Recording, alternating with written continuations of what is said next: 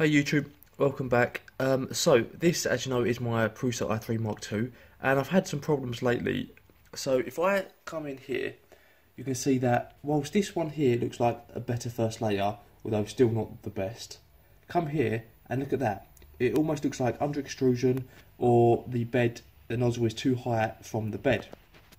Now, what's been happening with this is that whenever I print something along here, it will look a better first layer here, then when it gets down here, it's almost as if the bed is angling downwards. Now, the thing is with this, the auto, um, auto mesh bed leveling, so when the PINDA probe goes to each point, should stop that because it should account for that and, you know, change this in the software um, before each print. Now, what I did was design a quick STL which would just do a circle in all these spots here. So each corner and at the far edges and then four around the centre. And as you can see, it goes to the top. So this was where it started. And actually it just went to start the uh, second perimeter up there. And it's not too bad.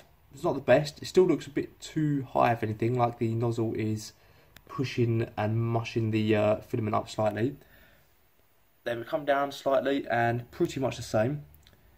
And we come down here and look at that.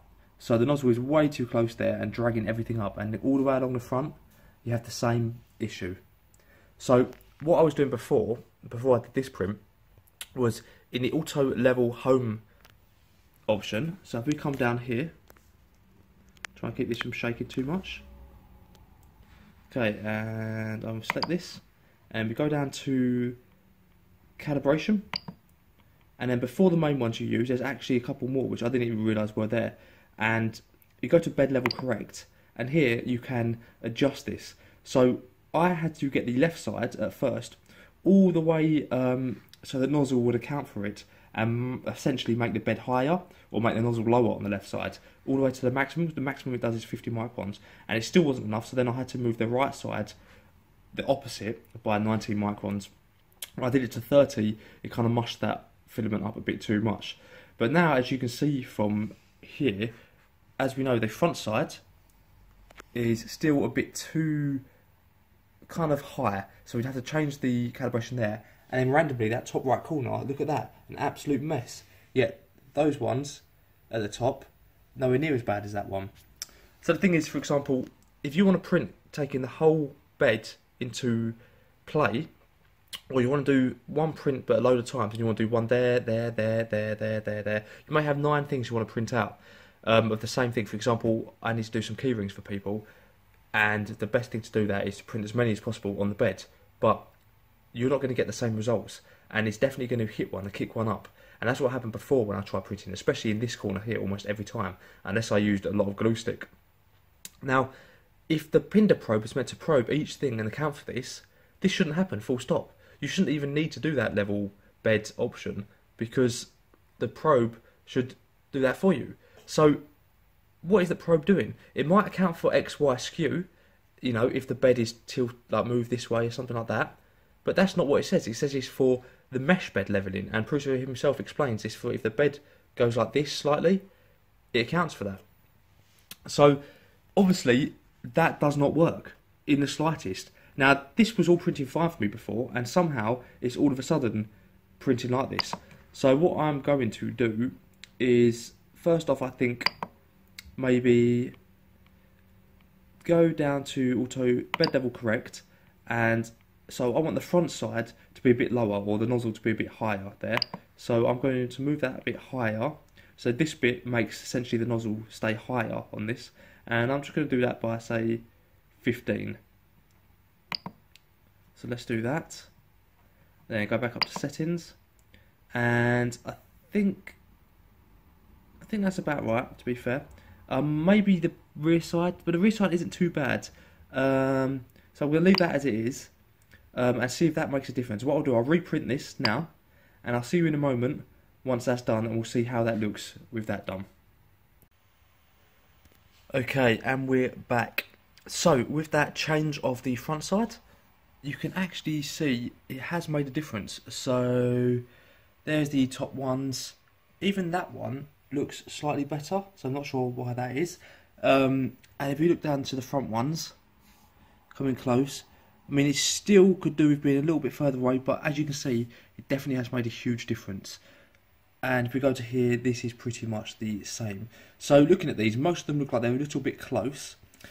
Um, even this one, well, in fact, this one looks like pretty. I don't know. It just it's a very strange one. I have no idea why it's doing that. It's slightly there as well, um, but apart from that, it actually is a nice layer. That's probably the the best one on here. Apart from that few errors in the centre. So I think what I'm going to do is do one more try, and I'll probably live adjust the Z, maybe by just like 20 microns or something, and see how it prints. I'm hoping it isn't too far away for these ones over here, um, but hopefully we'll make these ones just that little bit better, um, because even at the back here, they're slightly too close. So that's why I will do that rather than just adjusting the front side once more. So I'm going to get to that now, and again it takes about uh, oh it takes 49 minutes to print actually, that's quite long. So I'm going to print that and I'll be back in a minute with the last part of this video and see how we do. Okay, so this one has finished now. Um, I live adjusted the Z to 25 microns. Um, lower, so the bed was lower, you know, nozzle higher by 25 microns, and it's definitely made a difference. I've had to turn the light on because it's getting a bit dark now. It does actually take a little while to print. Um, and as you can see, these are the front ones, and look at those. It's tiny bit messed up there, but nothing anywhere near as bad. That one's actually really nice, and that one's not bad at all. And in the middle here, you can see, try and focus, that one is really nice. That one's perfect. That one, if I zoom in here, you can see it has that weird, again, that weirdness where it's almost as if the filament doesn't stick there or, I don't know, it's just weird. It doesn't smush it down in certain bits. I have no idea why it does that. And there we go again. Absolutely no idea why it doesn't do that there. And even in this one here, tiny bit there. But other than that, they look pretty decent actually. You see that one looks almost perfect. And this one here, nowhere near as bad as it was last time. And then this one, the same. So there's something in that middle area around here which is causing that weird kind of I don't know what to say. It's obviously not under extrusion. It's just some type of weird. I, I just don't know. I, I, can't feel that it indents there or anything. Um, I can't feel it lower, but I mean that's a good bit lower. Um, it's probably about 50 microns worth. Um, I'm not sure if you would be able to feel that with your just like your fingers. Um, so it seems like it's all the way kind of around here. Um, and as far as I know, it, usually extends to about um, extends to about kind of around here. Then it stops again. It gets nice around there. So it's just this little bit here. Again, no idea what it is, um, but at least I know now for prints not to have an edge of a print around here because then that may cause that to warp and lift.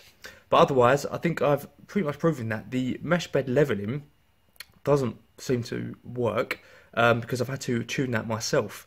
Um, and there's still perfect layers and not perfect layers. So I don't know what's with that. Maybe that'll be changed in the firmware upgrade. I know there's a beta um, of some new firmware at the moment. Um, so maybe I'll install that and see how that goes. Um, and anyway, uh, thanks for watching. Um, please let me know in your comments if you've had anything like this weird pattern in your bed. And also if you found any bed movements, stuff like this. Um, one thing I did notice is that this, you won't be able to see on the camera, this moves slightly. And when I looked around the sides, underneath there, let's try and focus there. I can actually see the bearing moving slightly.